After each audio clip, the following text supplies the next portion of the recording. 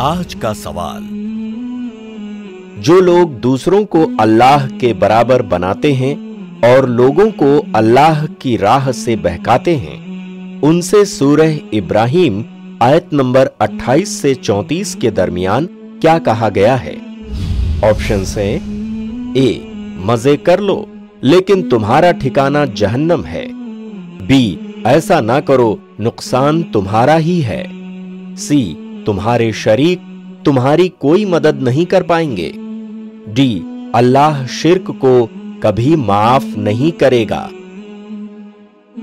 जवाब देने के लिए I plus TV app download करें और क्विज सेक्शन में जाकर जवाब दें। इंशाअल्लाह इस सवाल का सही जवाब और इनाम पाने वाले का नाम कल बताया जाएगा। तो जल्द से जल्द सही जवाब देकर इनाम के हकदार बने। अब मुताला करें इन आयतों का। क्योंकि कल का सवाल इनशाला इन्हीं आयतों से होगा।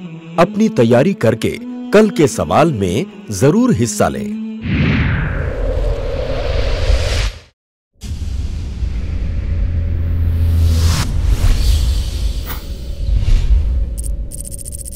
अपने केबल या डीटीएच ऑपरेटर से आई प्लस टीवी आज ही डिमांड करें। I plus TV free to air और इंडियन रजिस्टर्ड चैनल है।